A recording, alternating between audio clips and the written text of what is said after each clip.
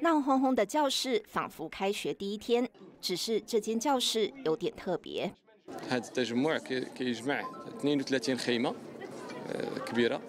اللي غادي تحتوي تلاميذ ديال الإعدادي 16 خيمة مخصصة للتلاميذ ديال الإعدادي و16 خيمة مخصصة للتلاميذ ديال التأهيلي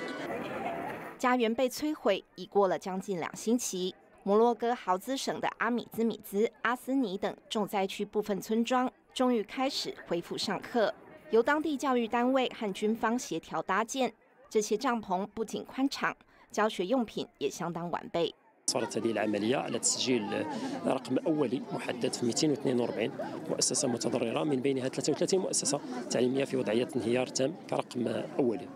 إذا تم اتخاذ الإجراءات اللازمة والتدابير اللازمة من أجل المعالجة المادية بطبيعة الحال وإعادة بناء هذه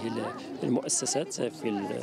当局在豪兹省山区偏乡总共搭建了一百五十顶帐篷教室，同时也持续帮助受影响最严重的六个城市，共约六千名学生转移到马拉喀什就学。教育部强调，复课重点除了学业，也会积极辅导学生，避免留下心理创伤。大爱新闻江玉挺编译。